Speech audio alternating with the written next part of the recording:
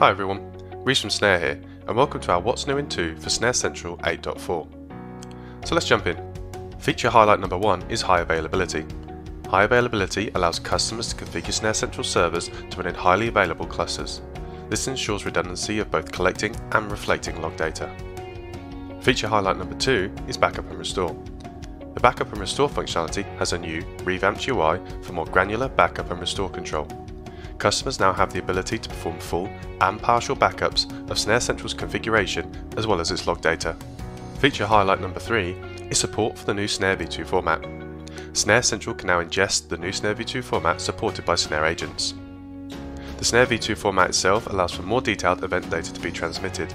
At its core is a JSON representation of the system log data, providing a number of additional fields for more granular audit event data. And the final feature highlight is search. A number of new features have been added to the Snare search capabilities. Notable additions include highlighting a free text search so you can see which part of the log data match your event criteria, as well as the ability to export search results to a CSV file.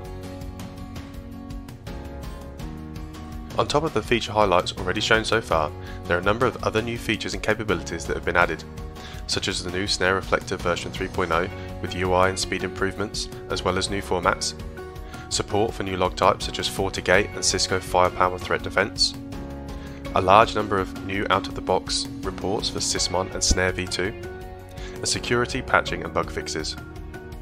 For a more detailed list, please see the link in the description. Thank you for watching.